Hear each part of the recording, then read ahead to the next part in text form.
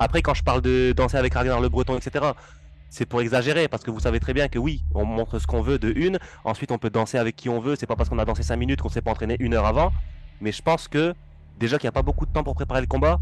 Si en plus il, se met à danser sur du coupé décalé, ça peut être compliqué. La destinée de Cyril Gann, si il s'impose samedi soir, je pense que c'est du jamais vu. Je pense que c'est du jamais vu. C'est c'est le plus grand accomplissement selon moi dans les sports de combat français.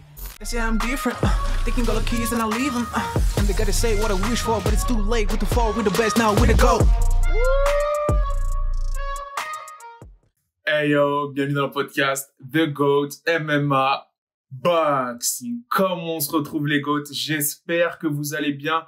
Aujourd'hui, ce ne sera pas que dans la cage qu'il y aura bagarre. En effet, le débat qui fait fureur. On a attendu, hein. on a attendu longtemps, c'est vrai, on vous a fait patienter. Nous sommes les derniers, je pense, de certains médias à lâcher notre analyse et pronos de l'UFC 285, très polarisant entre la légende, le GOAT, comme le dit même son adversaire, John Jones et Cyril Bongamin gagnent.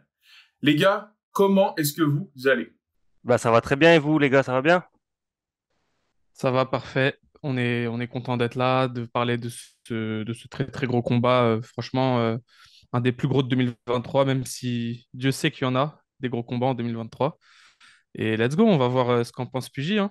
Let's go, let's go. Parce que les gars, je ne sais pas présenter, mais Karl, pour ceux qui ne connaissent pas, consultant The God depuis un moment. Pugy qui nous rejoint aussi, qui fait du très très bon contenu sur sa chaîne, FR. Allez follow, c'est, vous avez juste qu'à cliquer sur le lien dans le titre de la vidéo. Pas très compliqué.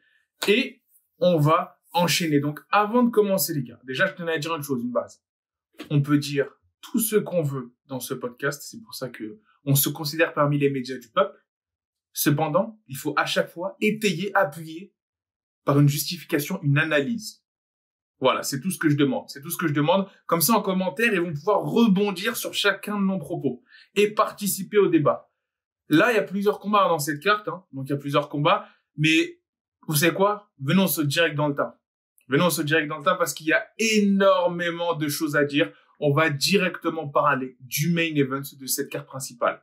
Et là, pour moi, là, il y a quelque chose déjà, dans un premier temps, on va commencer doucement, qui est assez euh, frappant. Enfin, frappant, pas tant que ça, mais par rapport aux odds de début, moins, 165 pour John Jones, qui est favori face à Sterrigan, plus 140.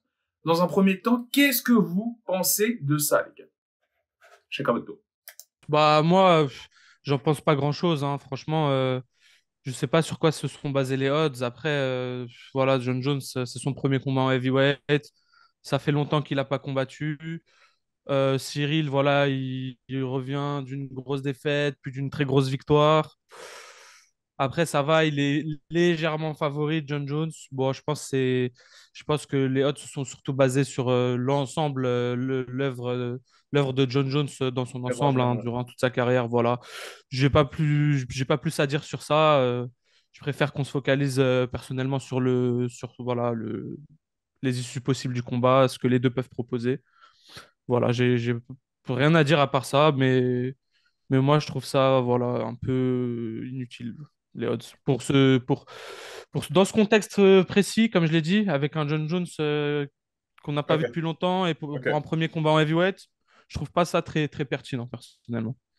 Bah, D'autant plus que bah, ça a varié. Je pense que Cyril Gagne était favori il n'y a pas longtemps, il y a quelques jours. Exactement.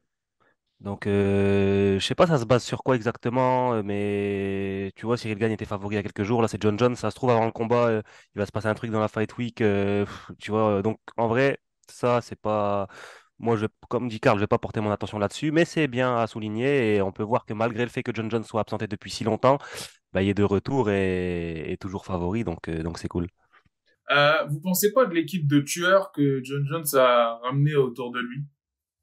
Eh bah, très franchement, ça prouve, ça prouve euh, juste son envie en fait de toujours se surpasser, toujours apprendre.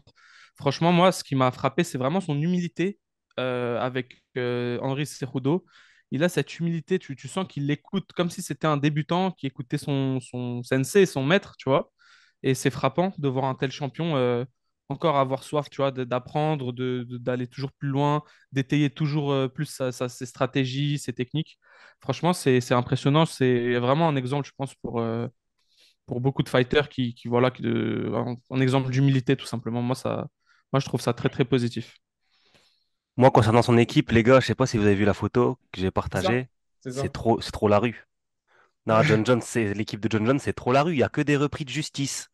En fait, je pense que, tu vois, à un moment donné, John Jones, il avait mis un tweet, euh, oui, vous pouvez être sparring partner, etc. Je crois qu'il y avait un petit astérix et il était marqué, euh, il faut avoir un casier judiciaire. Tu sais, si pas judici- t'as pas de casier judiciaire, tu peux pas rentrer dans l'équipe de John Jones pour t'entraîner avec lui. Il y a, que des mecs qui sont mal intentionnés et, et tu vois, je dis ça en rigolant, mais euh, on peut peut-être en tirer quelque chose, c'est que John Jones, il se met dans le dur et il y a une mentalité on va, on va peut-être en parler plus tard dans le podcast.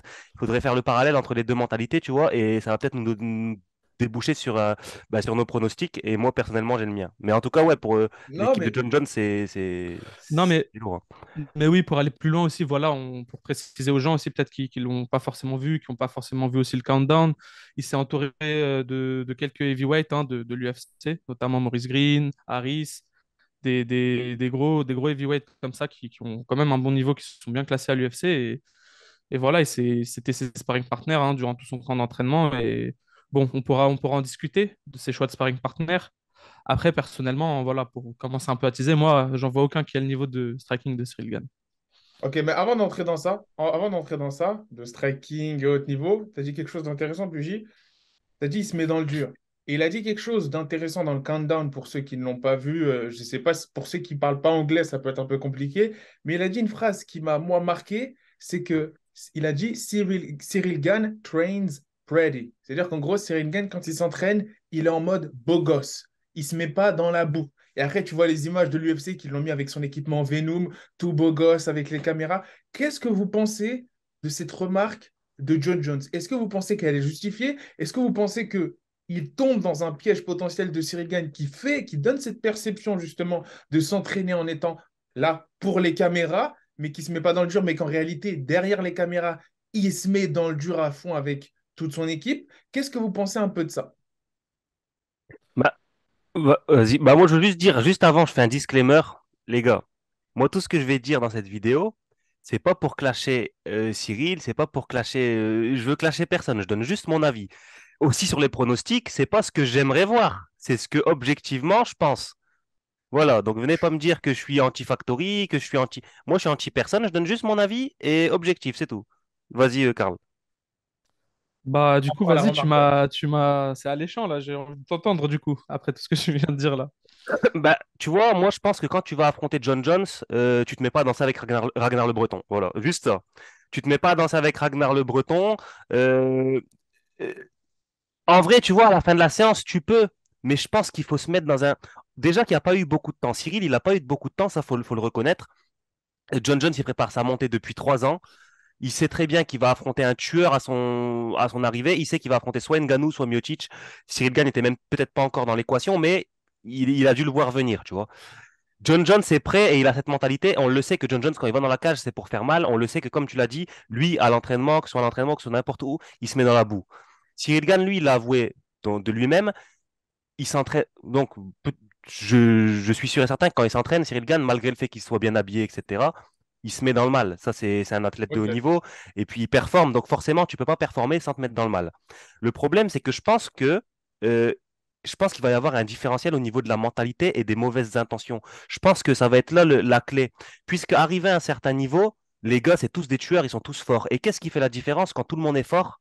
C'est dans la tête. C'est dans la tête et c'est. euh, et, pour moi, Cyril Gane, il a jamais connu l'enfer en vrai. Tu vois, il y a des. Pour moi, ce qui fait un champion, ce qui a fait Adesanya, c'est qu'il a connu l'enfer contre Gastelum et on a vu qu'il était fait. Il, il- avait ça en lui. John Jones, il a connu l'enfer contre Gustafsson. Il avait ça en lui. Cyril Gane, il a touché à ça contre Tai Tuivasa et c'était pas vraiment. euh, il, est- il, a, il a pas nagé en eau profonde, tu vois. Et donc, je pense que ça, ça peut être un désavantage pour lui. Et je pense que se tester euh, et se faire amener en eau profonde face à John Jones directement dans le grand bain, je pense que ça va être un peu trop pour lui. Après, quand je parle de danser avec Ragnar le Breton, etc., c'est pour exagérer, parce que vous savez très bien que oui, on montre ce qu'on veut de une, ensuite on peut danser avec qui on veut, c'est pas parce qu'on a dansé cinq minutes qu'on s'est pas entraîné une heure avant, mais je pense que déjà qu'il n'y a pas beaucoup de temps pour préparer le combat, si en plus il, il se met à danser sur du coupé décalé, ça peut être compliqué. Donc toi, toi, tu penses que Ah, c'est c'est la, le mindset, la, la mentalité à la, à l'approche du combat qui va faire la différence pour euh, John Jones? Exactement. Je pense que c'est quasiment même que ça. Techniquement, euh, si on- ouais, techniquement, Cyril Gane, on sait que c'est un monstre en striking, mais je pense qu'il n'y aura pas. Comme on a vu un peu avec euh, Makhachev et Volkanovski, on s'attendait à ce que l'un déborde l'autre dans, dans, le, dans l'un en striking, l'un en lutte, et on a vu que ça s'est équilibré. Tu vois? Et là, peut-être que ça sera la même chose. On pense que Cyril Gane va, va surdominer. Je pense que ça va s'équilibrer, et même peut-être au... en grappling. Mais pour moi, ce qui va faire la différence, ça va vraiment être la mentalité. D'accord. Voilà en passant de cette mentalité. Karl, toi, par rapport à la perception, justement, à la question initiale de, que renvoie Cyril Gann dans sa manière de s'entraîner et la réaction, parce que John Jones, on voit que c'est très, très efficace. Hein, John Jones réagit à chaque sortie médiatique potentielle ou à chaque euh, perception volontaire ou involontaire que renvoie Cyril Gann et les MMA Factory. C'est quoi, toi, ta, ta réaction par rapport à ça? Moi, je pense qu'il faut faire attention, il ne faut pas tomber dans le piège de, ce qu'on veut te montrer. Toujours. Ça a toujours été ça à, ce niveau-là, avec euh, médiatiquement en parlant, ils ont une très grosse exposition, les deux médiatiques. Mais il ne faut pas oublier que quand même, euh, chaque clan, chaque camp montre ce qu'il a envie de montrer. Et je pense qu'il y a une certaine volonté euh, de Cyril Gann, son équipe, le, le MMA Factory, à, à pas divulguer, tu vois, à pas justement montrer toutes ces phases où je pense Cyril Gann est dans le mal à l'entraînement, où il est, voilà, entre guillemets, où, voilà, où, il est, tu vois, tout transpirant. euh. Parce que John Jones, ça, on, l'a beaucoup montré, surtout notamment avec, euh, sur la chaîne d'Henri Cejudo. On a pu voir des, des phases d'entraînement, des, tu vois, on a pu voir énormément de choses. On a, j'ai j'ai l'impression que c'est le storytelling qu'on veut nous faire passer le bon gamin, euh, qui, qui fait les choses de, de, voilà, tu vois, tu fais les choses de manière détente, chill, facile, le génie français, tu vois. On, on- on donne ce storytelling de ah, c'est le génie français, il n'a pas besoin, euh, tu vois, il donne jamais tout ce qu'il a, euh, il est facile face au tueur John Jones qui, qui, lui est toujours dans le mal, est toujours dans le dur, vient pour tout, pour tout, tout tuer sur son passage. Moi, je pense qu'il faut faire attention, c'est le storytelling qu'on essaye de nous vendre. Le, je pense que les Factory, il est rentré dans le jeu, ils, dit- se sont dit, vas-y, moi, nous, on va, tu vois, on va montrer cette image, on va, on va pas montrer, on va jouer sur ça, on va faire un mind game, on va dire, non, tranquille, on, est chill, nous. Euh, mais non, mais je pense pas que ce soit aussi simple que ça. C'est pas aussi simple. Moi, je pense que, que c'est juste ce qu'ils veulent montrer. Il faut faire très attention. J'ai l'impression que beaucoup tombent dans ce piège. Alors, certes, certes, euh, John Jones, c'est quelqu'un de méchant, on l'a dit, on le sait, c'est quelqu'un qui aime faire mal, c'est quelqu'un de très, très vicieux dans la cage. Moi, je n'oublierai jamais la fois où il a, il a tout simplement, euh, il a, tout simplement blessé Glover Teixeira. Il lui a fait un, un, mouvement très bizarre où il lui a bloqué en fait le, lui a bloqué le bras et il lui a, il a exercé une sorte de, torsion sur sa clavicule. J'oublierai jamais ça. C'est des trucs, c'est inné, c'est c'est en lui, c'est son caractère. Tu, tu verras jamais Cyril Gann faire ça. Tu verras jamais. J'ai jamais vu un autre tout simplement faire ça. Et en fait, le Cyril Gann, c'est tout l'inverse. Et en fait, c'est ça, c'est exacerbé parce que on a deux, deux caractères vraiment à l'opposé. On a un mec, il pense que à, il pense qu'à la victoire. C'est vraiment, c'est le lion de la savane. Tu vois, il veut, juste dominer l'autre. Et on a un autre, bien sûr, qui, qui veut dominer l'autre, qui veut faire un, beau combat, mais il est, tu, il est jamais dans. il a- tu sens pas d'agressivité, tu sens pas d'animosité. Et avec John Jones, c'est tout l'inverse. Et je pense que c'est juste que c'est voilà, c'est comme on a deux caractères très différents, c'est très exacerbé, mais faut faire attention. Moi, je pense pas que Cyril Gann soit meilleur s'il s'inventait un rôle et, et qu'il commençait à faire le méchant. Moi, je pense que ça, ça sert à rien, ça servirait à rien. Mais même si Cyril Gane, on, on l'a déjà vu, et notamment dans ses premiers combats de MMA et aussi dans sa carrière en Muay Thai, il sait faire preuve euh, d'animosité et d'agressivité, euh, même dans la, dans son expression faciale, quand il porte les coups. Et, euh, retournez voir, pour les auditeurs euh, et les spectateurs, re- retournez voir ses premiers combats en MMA, vous voyez qu'au TKO, quand même, quand, quand il met des coups, ça se voit rien que sur son visage qu'il est méchant. Donc en vrai, quand tu es combattant, forcément, une, et surtout à ce niveau, forcément, tu as une part d'agressivité qui est en toi. Mais là, là où je veux mettre le point, c'est que John Jones, lui, elle est vraiment, c'est démesuré. C'est vraiment le méchant parmi les méchants. Bien sûr, c'est un, dirty fighter, hein, John Jones. hein. Euh, les eye poke, donc, euh, donc les doigts dans les yeux, ce- cette technique, mais contre Glover, mais, c'est, mais il a blessé Glover pendant le combat. C'est ça qui lui fait gagner le, le combat très facilement. Il est, il est blessé trop pendant trois rounds, euh, Glover Teixeira. Euh, les, les coups de coude illégaux, on se souvient. Face à... Écoutez, il y a, un- il y a un point qu'on oublie souvent, c'est euh, face à Smith, Anthony Smith. Euh, Anthony Smith, s'il fait comme Aljamain Sterling, il est disqualifié, John Jones, il perd sa Il a pris, il a pris deux points de pénalité. hein. Il, John il a eu lui chaud. met hein. un coup de genou pendant qu'Anthony Smith est au sol. Il lui met un coup de genou dans le visage. Donc, euh, faut pas oublier que quand même, euh, ça fait beaucoup de faits, en fait. Il y a beaucoup de faits marquants qui montrent que John Jones, c'est quelqu'un de très vicieux. Et, je suis d'accord, ça peut jouer durant le combat. Mais encore une fois, Cyril Gann, euh, c'est pas non plus un, gen- un gentil comme on le pense. hein. C'est face à Tai Tuivasa, il prend un coup, il y a un bouton qui s'active dans, sa tête, il y a quelque chose qui s'active, ça y est, il est en mode destruction après. hein. Et il détruit euh, complètement Tai Tuivasa. Donc euh, voilà, attention à ce storytelling qu'on essaye de faire passer.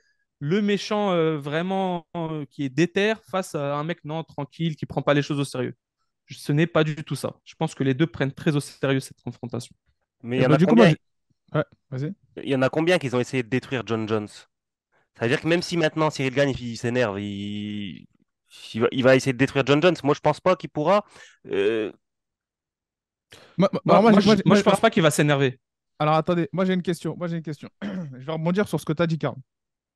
Cet instinct très malicieux, cette volonté, cette intention de faire très mal, notamment magnifiquement représenté. Je pense que c'est moi le moment le plus représentatif, hein, celui que tu viens de citer, quand Glover l'a en underhook, et ensuite tu lui fais cette pression pour lui péter littéralement le coude et l'épaule. Il n'y a, même pas une volonté de gagner des points, il y a juste une volonté de blesser.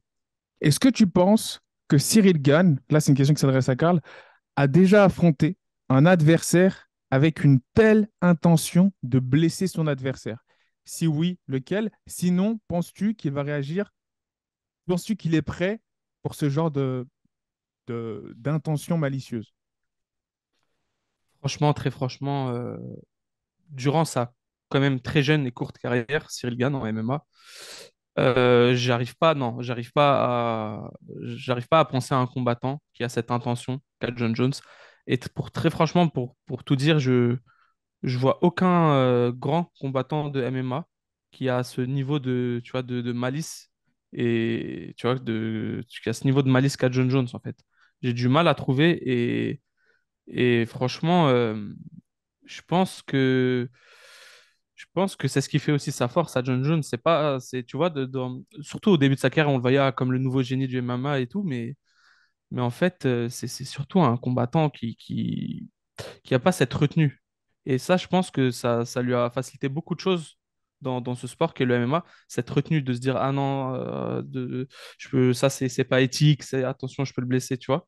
Et en fait, ça, ça, ça, je pense, ça l'a aidé, ça l'a beaucoup aidé, mais ça l'a aussi mis dans, dans la sauce des fois. Quand, quand il perd contre Matamil, c'est parce qu'il lui envoie euh, le coup le plus dangereux possible qu'on peut envoyer à quelqu'un quand on est en garde montée, tu vois. Mais l'arbitre, il a cherché, il frappait pendant 20 minutes, l'arbitre, il arrête pas, il a pété les plombs à un moment donné.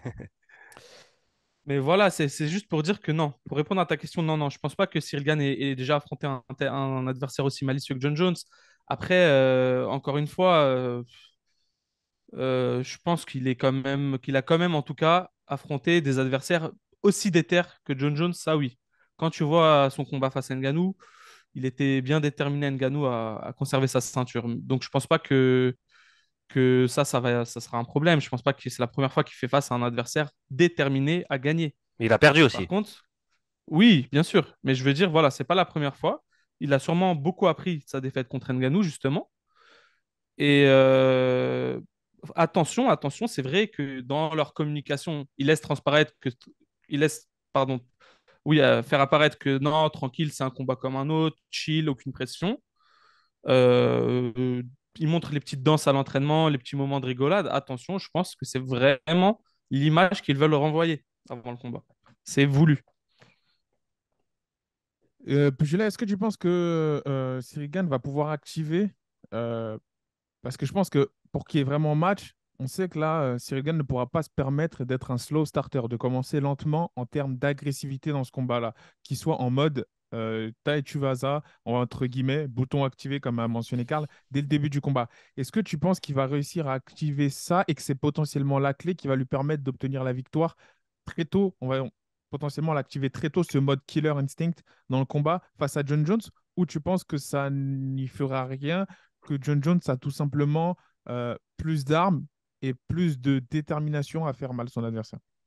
Bah, pour répondre à cette question, j'ai envie de répondre à une autre. Tu vois, tu as posé la question à Karl et tu lui as demandé si Cyril Gann avait déjà fait face à des adversaires avec autant d'animosité, autant de, Ouais. de mauvaises intentions. Il t'a répondu pas forcément, si ce n'est un, mais il a perdu. Et j'ai envie de vous poser la question, enfin, j'ai envie de juste affirmer que John Jones, lui, il a déjà fait face à des adversaires avec des intentions beaucoup plus mauvaises que celles que Cyril Gann aura.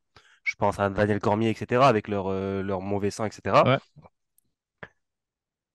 Donc, il, s'est déjà préparé à des grands rendez-vous. Il s'est déjà préparé à des grands rendez-vous contre des gars qui voulaient lui arracher la tête.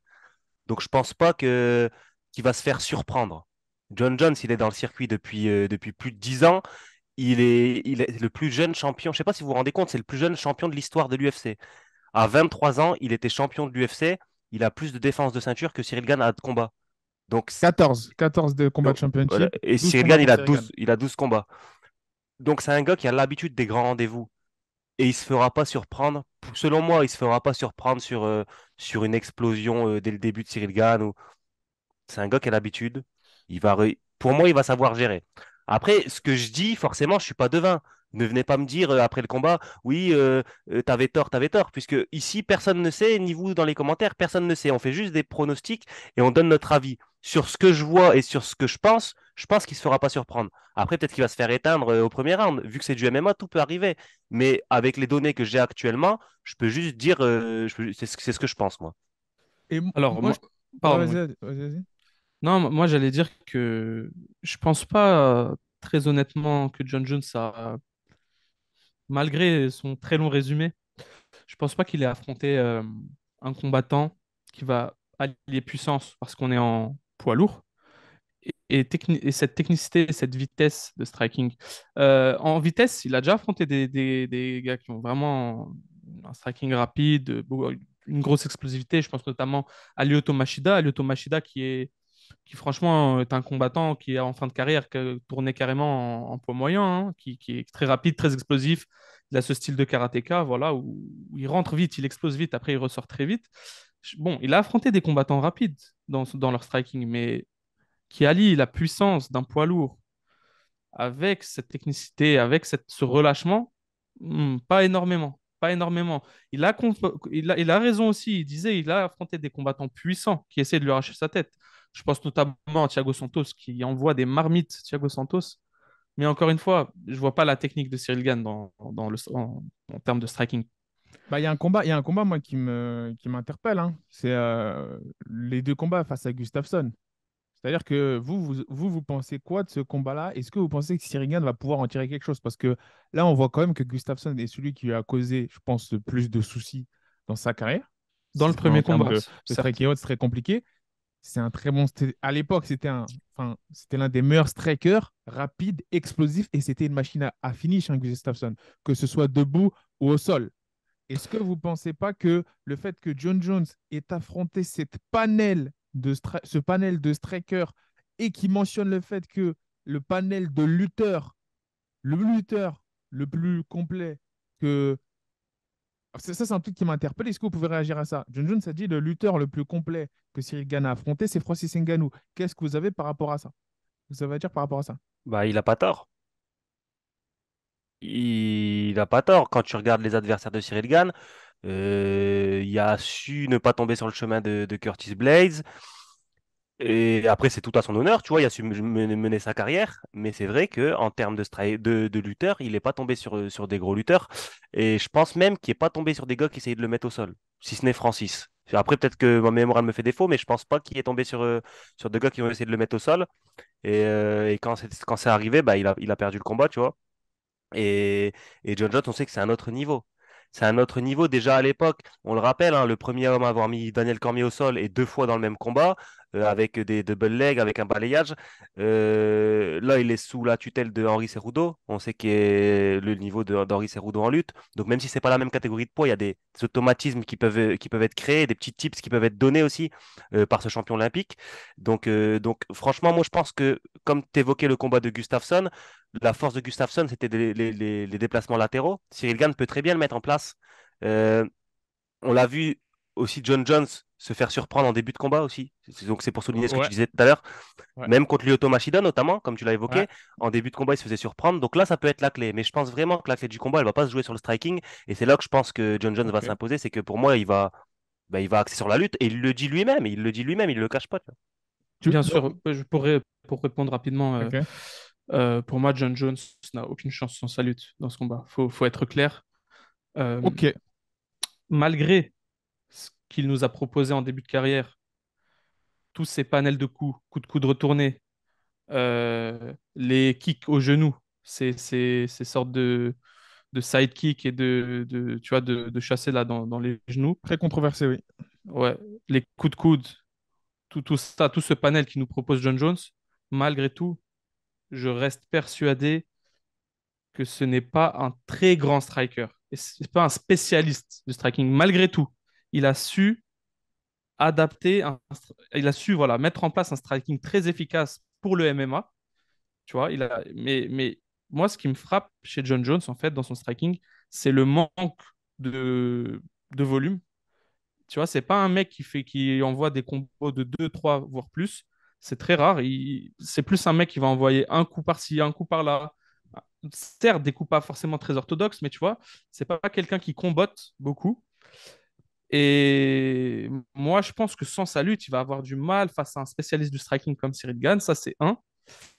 Deux, c'est quelqu'un, j'ai dit que son striking, il était un peu surcoté niveau striking, mais par contre, il a longtemps été sous-estimé au niveau de sa lutte.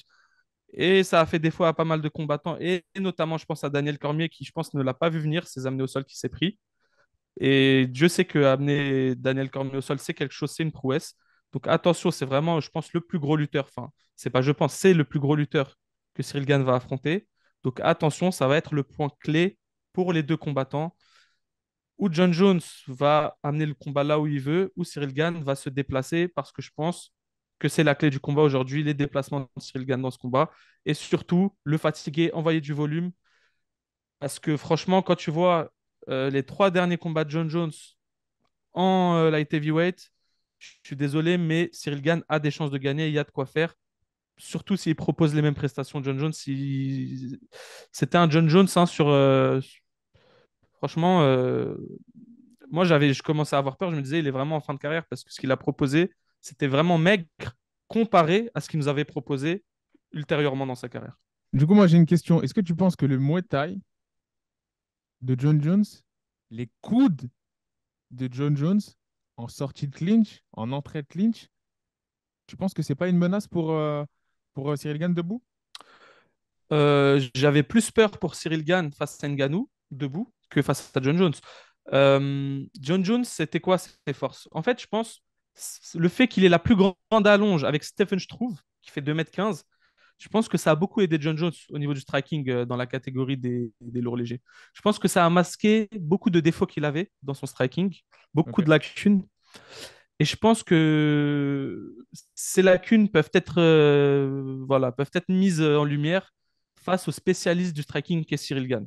Je pense que Cyril Gann, euh, bon, ne doit pas sous-estimer John Jones, bien évidemment. Je dis pas que ça va être tranquille et qu'il ne va rien lui arriver debout, mais je pense que si il est concentré comme il sait l'être et qu'il s'est bien préparé, je pense pas que c'est là où, il doit s'attendre à, à des problèmes. Je pense que ce sera plutôt sur les amener au sol de John Jones. Moi, je voulais juste rebondir sur un point que tu as évoqué. Tu parlais de combo, donc tu parlais de combo pour John Jones. Ah, on sait que Cyril Gann, lui, il- ça lui arrive. Bah, il met aussi des coups isolés, tu vois, mais ça lui arrive de, de développer un petit peu plus. Ouais. Je voulais juste euh, évoquer le fait qu'il faut qu'il fasse très très attention sur la sélection de ses coups, parce que c'est ce qui lui a fait défaut contre Francis Ngannou. Euh, le front kick à la tête, c'est ce qui donne euh, le renversement très spectaculaire que Francis euh, a pu lui mettre, et c'est ce qui a, c'est ce qui l'a ramené au sol. Et c'est à partir même de là que Francis a compris qu'il pouvait le maintenir au sol, et c'est ce qui lui a fait perdre le combat. Donc, il faut faire attention à la sélection des coups. Je pense que ça, Fernand Lopez il- et, et- et l'équipe du MMA Factory, ils, ils savent très bien et lui, ils lui ont clairement fait comprendre. Mais, mais est-ce que justement, il va pas être bridé dans son striking par rapport à certains coups qu'il n'utiliserait pas? Eh oui, c'est Bien du, évidemment. C'est du MMA. C'est du MMA. Bien évidemment. Parce que tu parce que t'as, as posé la question, tu as dit est-ce que euh, John Jones a un, a- enfin, t'as dit que John Jones n'avait pas un- n'était pas un, un striker d'élite, mais par contre c'est un combattant d'élite. Bien sûr, bien sûr. Et liaison tout à fait raison. Et tu as tout à fait raison. On sait tous ici que, que des grands strikers qui vont combattre euh, des grands lutteurs, des, voilà, tu vois, des, grands grappleurs, vont être bridés dans leur choix des, coups, vont être même très bridés dans, le choix surtout de l'envoi des, kicks, parce qu'on sait très bien que les amener au sol peuvent venir sur un, voilà, un, kick euh, attrapé, peuvent venir sur un timing après ou avant ou pendant l'envoi d'un kick.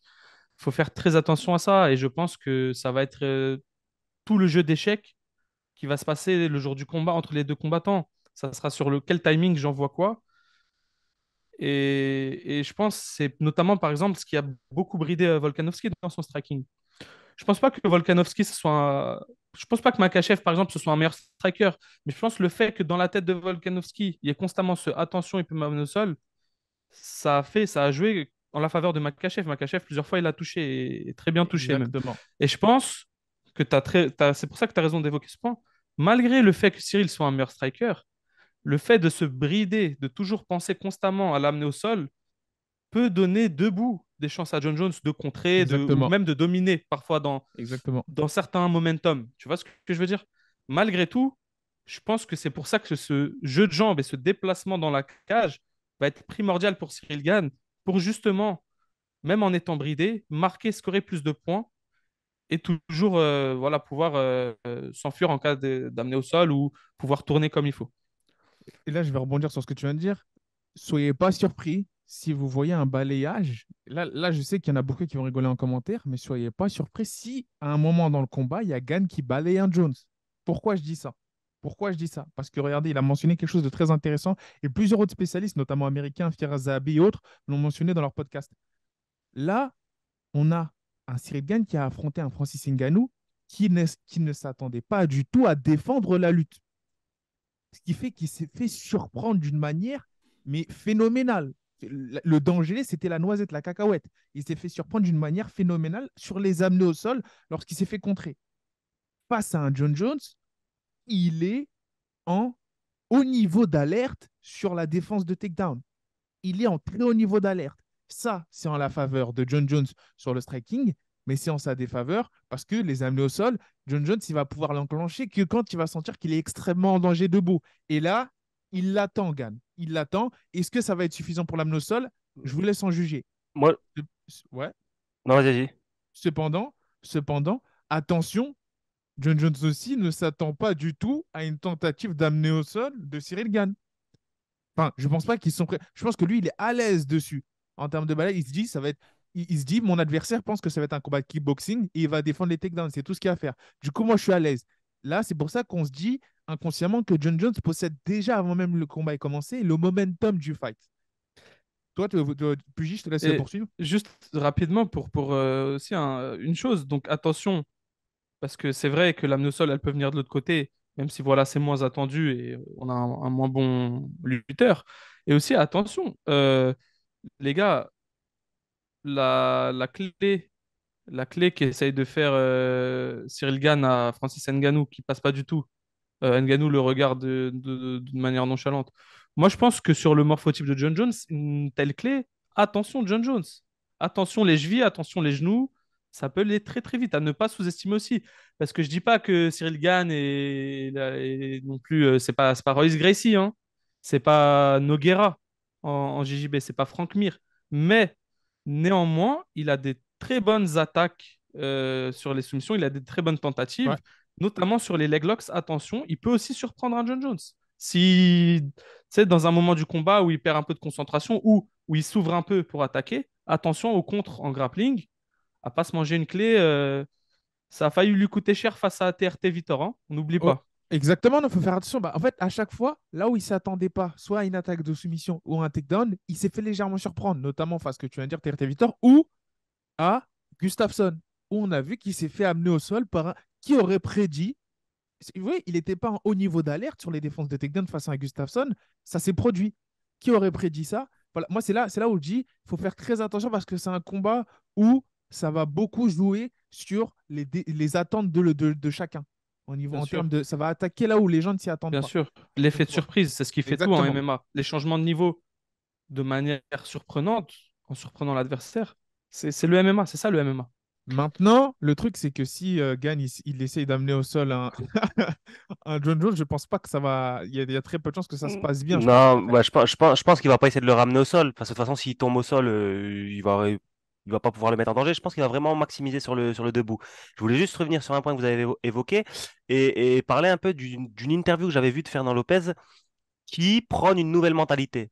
Donc en fait, on avait vu à l'époque Fernand Lopez, il parlait du déplacement pour ne pas se faire ramener, etc.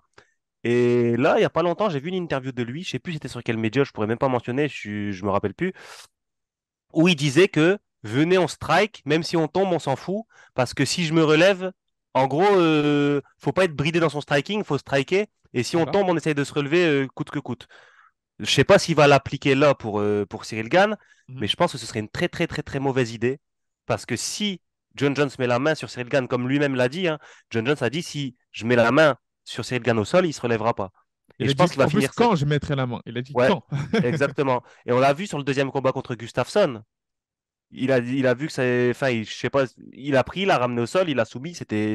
Enfin, je sais plus s'il a soumis au Grand Là, Pound. il, il l'a il l'a grand and poundé dans, Ouais, dans- sur une dans position euh, euh, voilà, où il était Ouais. dans son dos. Euh, Donc, il- voilà, c'était, il- assez facile, c'était expéditif. Ouais. C'était expéditif. C'est dommage, voilà, on pourra en reparler une autre fois. C'est dommage pour Gustafsson. Qui, voilà, bon. En tout cas, euh, si c'est le game plan, moi j'ai peur pour Cyril Gann. Si c'est le game plan. Si c'est on strike, on fait abstraction de la lutte, et lorsqu'on est au sol, c'est pas grave, on essaie de se relever. C'est ce qui a coûté euh, Cyril Gann face à Ngannou. Il n'a pas pu se relever. Et ok, on a moins de puissance brute de la, du, du côté de John Jones, mais on a quand même beaucoup plus d'expérience et de technique. C'est un lutteur. C'est avant le MMA, c'est un lutteur, John Jones. Faut pas oublier. C'est un lutteur. Ouais. Vas-y, euh, je Oui, bon voilà, c'est ça que je voulais dire. Donc attention, je pense pas que ce soit la bonne stratégie, même si je pense pas qu'ils vont utiliser cette stratégie personnellement. Bah, en fait, ce qui fait que, que John Jones est tout simplement favori euh, maintenant euh, de plus en plus dans la tête des bookmakers, de plus en plus dans la tête des fans en général, c'est que lorsqu'il va sentir le roussi debout, parce que, attendez-vous une chose, John Jones à 100%, il va vouloir striker avec Cyril Gann. hein. à 100%, parce que John Jones, il n'est pas de ton avis, Karl. Lui, il pense que c'est un striker d'élite dans sa tête. Voilà, il faut savoir ça. C'est que lui, à tous les coups, il va se dire, ce gars-là, qui dit des choses en plus de. Enfin, je sais plus c'est quel. Je sais pas s'il l'a dit, mais euh, enfin, quand j'ai vu le, le, le journaliste d'RMC, alors je connais pas son nom, dire que, que Gann, euh, je crois, n'était pas, n'aimait pas forcément le MMA, peut-être c'était mal retranscrit. Le fait que ça se centrait dans la tête de John Jones, mais ça a activé quelque chose en lui. Il se dit, je vais aller debout avec lui. Et le problème, c'est que lorsqu'il va sentir un peu le roussi, que ce soit en tout début de combat, en milieu ou à la fin, il va direct changer de niveau. Et c'est cette capacité-là, cette clé-là de la part de John Jones, cette possibilité, cette option qui donne, on va dire, la faveur du public. Est-ce que Gann va capitaliser dessus Il va pouvoir le timer? Parce qu'on sait que, attention, on a vu un Francis Ngannou, euh, pareil, Velasquez, il avait cette, op- cette option-là de changer de niveau lorsqu'il sentait le Rossi debout. Il s'est fait timer par un hypercut. Ça peut arriver par un hypercut en un genou. On sait que Gann a un excellent timing. Et très, il faut faire très attention. Là, on n'est pas en amateur. Là. là, les coups de genou sont autorisés. Les coups Ouais. sont autorisés. Mais tu vois, mais même tu vois, si- c'est- ce Même que- si John Jones, je pense que c'est un striker d'élite. Euh, euh, c'est un très bon striker. C'est un striker euh, d'élite dans le MMA. Mais there are levels in these games, comme disait DC.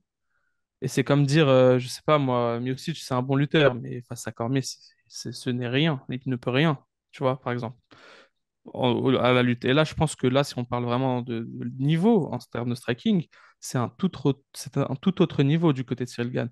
Et notamment, on parle des poids lourds, on parle à un poids où je pense pas que John Jones est forcément plus rapide. Je pense qu'il est un peu plus lent même. Et je pense que ça aide pas du tout John Jones, sachant que déjà pour moi, c'est pas un meilleur striker que Cyril Gane. Mais je, voilà. veux- je veux juste revenir sur, euh, sur le point que tu as évoqué, euh, Sigma. En fait, tu vois, moi, je pense que cet excès d'orgueil de vouloir battre le gars dans son domaine, John Jones, il l'avait, mais au début de sa carrière. Il l'a fait avec, il l'a fait avec Cormier. Oui, je vais pas pouvoir te mettre au sol. Oui, je vais te mettre au sol. Il l'a pris, il l'a ramené.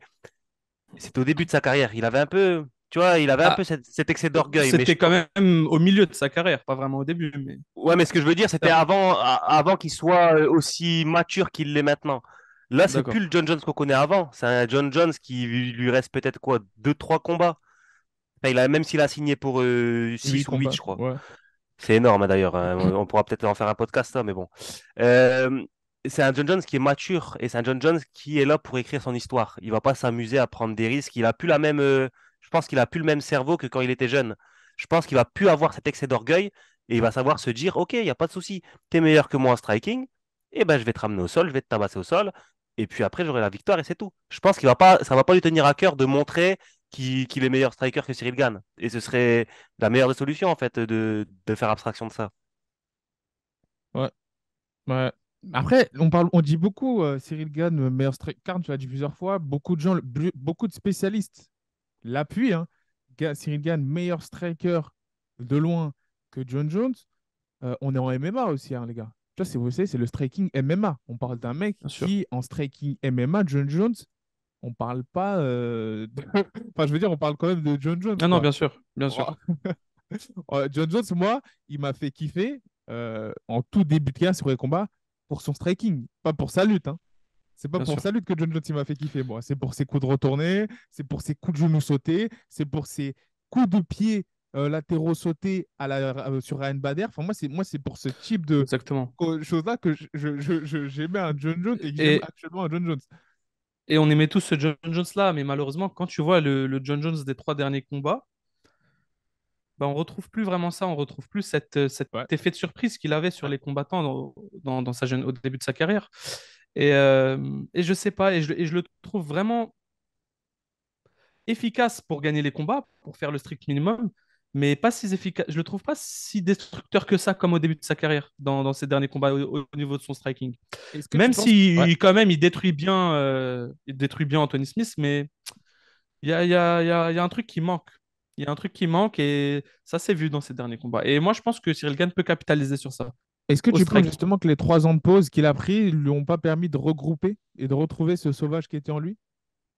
Je pense que ces trois ans de pause l'ont l'ont surtout aidé à faire la transition euh, physiquement et physiologiquement en heavyweight. Maintenant, euh, je ne sais pas si c'est c'est le, le gros point d'interrogation. Ça reste à voir. Je ne sais pas si c'est un nouveau combattant.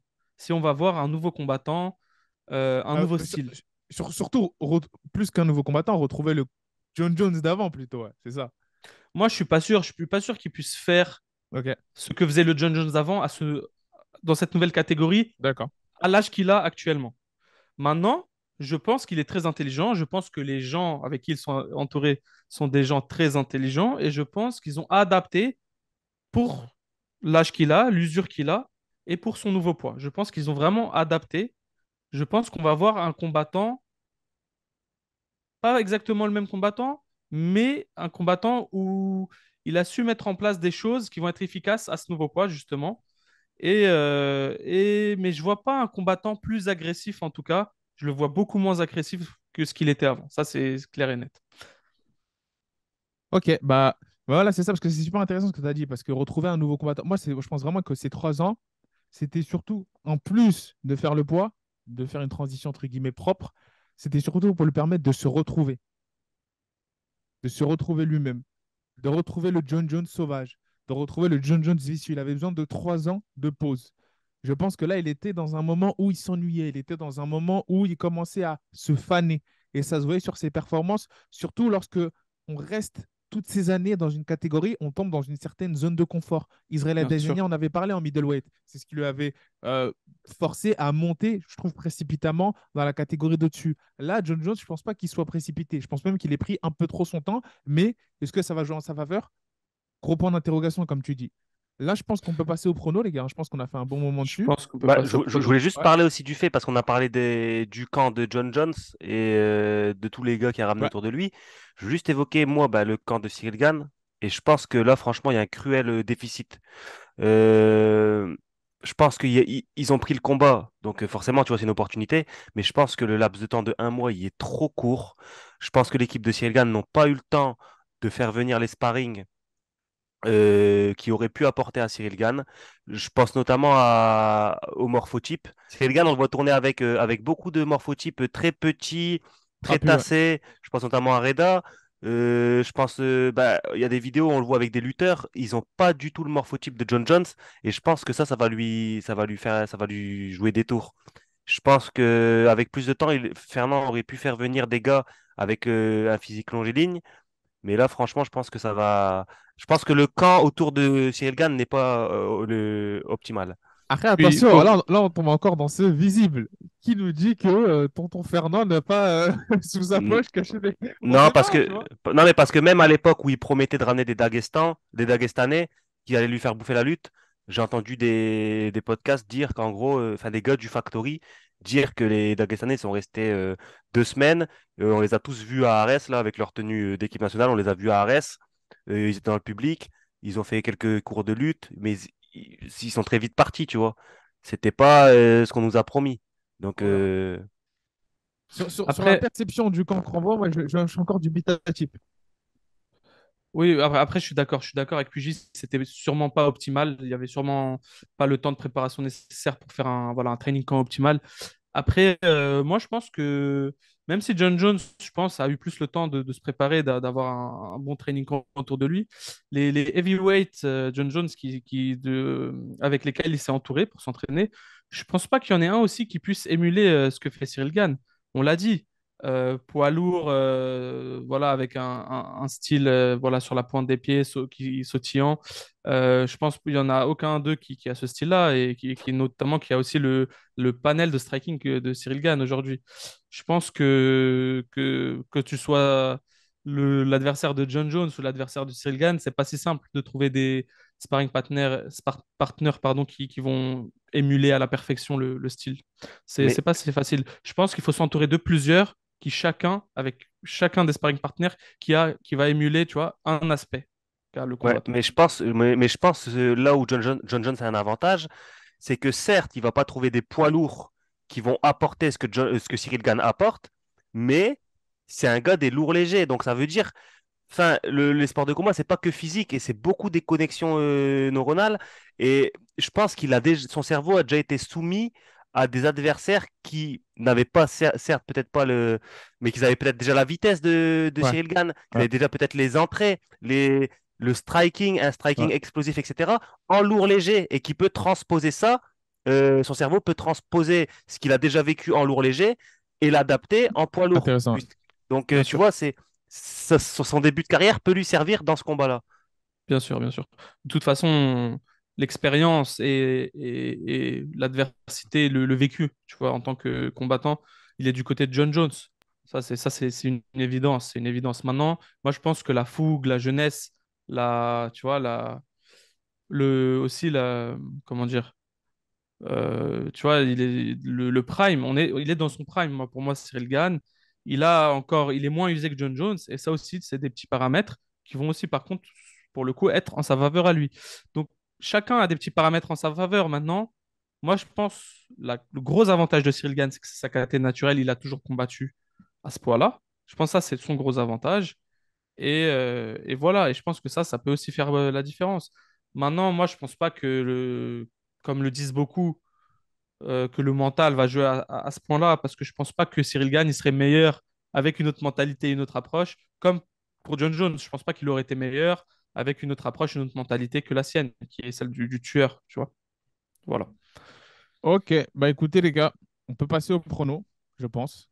Euh, Uji, quel est ton pronostic pour ce combat? Moi, mon pronostic, il- alors il peut changer. Si tout se passe bien dans la semaine, il y a, tout, tout va bien, je pense que John Jones va s'imposer au fil des rounds. Par contre, si John Jones, euh, dans la semaine, il fait, un, il fait euh, je sais pas, un vol à l'arraché ou il renverse quelqu'un, là, il va se transcender, il va être dans son prime et il va finir le combat très très rapidement. Bah, bah oui, le- quand John Jones fait ses meilleures performances, c'est quand il fait une connerie avant. Faut pas l'oublier. Non, mais blague à part. Ouais. passe au strip club à Las Vegas. Ah ça ouais. va, ça va, le- ça va lui John Jones donner de la- c'est sous strip club, c'est du, c'est injouable.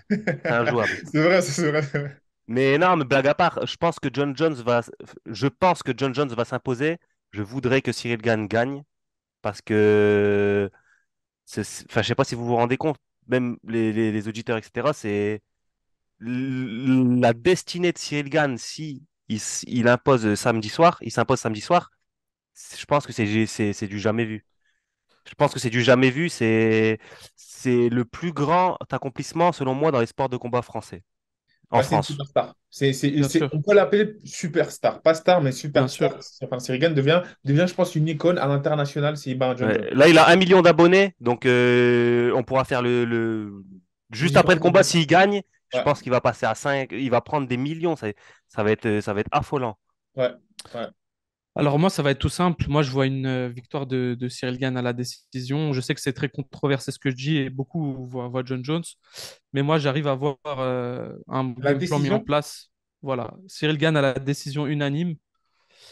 Euh, voilà, je le vois emporter 3 rounds à 2 ou 4 rounds à 1 dans un combat euh, voilà, très, où ça va être très dangereux, où il va pas forcément beaucoup s'exposer.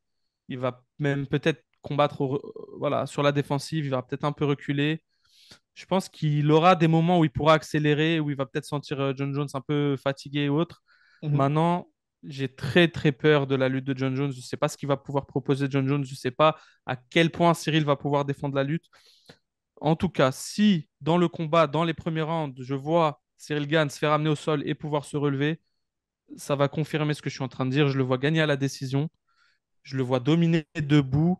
Quand je dis dominer, pas forcément non plus euh, le, le- le détruire et ne subir aucun coup, mais plus touché. Je le vois plus touché. Et, euh, et je le vois gagner. Voilà, 4 rounds à 1, 3 rounds à 2. Je le vois écrire l'histoire. Je le vois faire subir la. Je vois en tout, tout simplement en fait la première défaite, vraie défaite de John Jones de son carrière. Parce que voilà, je considère que John Jones, il est invaincu. Je pense qu'on est d'accord euh, ici pour Ouais, dire ouais. qu'offici- officieusement, il est invaincu. Et je vois le prodige français réaliser l'exploit et tout simplement écrire l'histoire du sport français et écrire sa propre histoire. Mais, mais, je- mais je pense que si, si, comme tu dis, Cyril Gane arrive à se relever, je pense qu'il va, il va même le finir. Si John pas- Jones n'arrive pas à maintenir Cyril Gane au sol, je pense que John Jones se fait finir, avant la limite même. C'est c'est ce c'est ce que j'allais dire. Moi, je vois pas du tout un Cyril Gane gagner la décision. Au contraire, si je vois Gane gagner, moi, c'est soit parce qu'il l'aura boxé debout, ensuite il le finit en ground and pound, ou il le finit en soumission après l'avoir boxé debout. Moi, je le vois pas, euh, entre guillemets, outpoint, enfin, marquer plus de points dans un combat général sur 5 rounds face à quelqu'un qui a 14 combats de championnat. Au contraire, moi, pour moi, sa meilleure manière de le battre, c'est comme a dit, enfin, c'est ce que l'objectif de Fernando Lopez, KO. Ils veulent mettre ils viennent pour mettre KO John Jones. Après, voilà, moi c'est. Et maintenant, j'en- j'enchaîne sur mon pronostic. Je, je tends plus vers le fait que il va la jouer John Jones sur la défensive. Et je vois plus une victoire, moi, de John Jones à la décision unanime. Par contre, mon cœur veut à 3000% et je supporterai là-dessus. Voilà, parce que là, j'ai détaché ce que je voulais de ce que j'analyse. Je pense que avec le mécanisme de défense, le mécanisme de défense de John Jones de survie est beaucoup plus évolué. Donc, je le vois aller à la décision et potentiellement gagner en ayant marqué plus de points debout et au sol. Mais mon cœur, bien évidemment, veut que ce soit pour l'histoire, pour la France, un, un, un TKO, un KO dramatique de Cyril Gane. Et on espère que ce sera ça. Mais mon pronostic, moi, ce sera tout simplement un peu short et John Jones à la décision. D'accord, bah maintenant qu'on a nos trois pronostics, Je Voilà, pense que John Jones va le finir à la- je, pense que John Jones va le soumettre dans le troisième. d'accord, d'accord. D'accord, Bah, écoutez, on a changé, soumission troisième. c'est ton dernier mot, Pugila? Ouais, soumission troisième. c'est Rick. Voilà, c'est tu peux plus changer maintenant. Donc les gars, Ah, je peux plus changer. Commentaire. Ouais, c'est fini. Soumis... Alors, euh, les gars, en commentaire, avant, avant de mettre vos pronos en commentaire, les GOAT, on a Pugila, soumission troisième, John Jones. Karl, décision, Cyril Gann. Sigma, décision, John Jones. Voilà. Voilà. Donc maintenant, c'est à vous. Vous nous dites ce que vous en pensez en commentaire, bien évidemment. On va, on va tout lire. On, on veut vos avis. N'hésitez- pas à justifier hein, si, si vous avez des justifications. Voilà. On attend que ça, vos avis, les gars. Et franchement, rendez-vous samedi pour cette nuit exceptionnelle. Je suis, j'en peux plus. J'arrive plus à dormir. Je vais être sous nuit blanche là Sacré, euh, sacrée nuit, il y a Cédric Doumbé aussi qui combat. Euh, Doumbé aussi, hein. Donc ça, c'est une sacrée nuit. Tous les fans de MMA, ce- je sais qu'il y en a beaucoup qui vont découvrir le MMA peut-être à travers ce podcast, peut-être à travers euh, l'événement euh, Cyril Gann contre John Jones. Il y a aussi un gros événement juste avant, c'est le MMA GP. Donc euh, il y a, il y a- il y a des bons combats, etc. Donc euh, samedi, euh, samedi, grande nuit en perspective. Belle Et- nuit de et MMA. pour ceux, et pour ceux qui ne pourront pas être, ne pas voir l'UFC, il y a le MMAGP, il y a la Supreme League aussi. Je concours tirage au sort qui va sortir aujourd'hui. Donc voilà, pour prévenir les gens. Le même jour. Voilà. C'est c'est vraiment un très très gros, euh, très très gros week-end en perspective. Et on fera sûrement le react de- des combats en vidéo aussi. Donc euh, là, là, vous allez être servis. Vous allez être servis, les gars. Sur ce, je pense qu'on peut leur dire le mot de la fin. Peace, les gars. Way to go.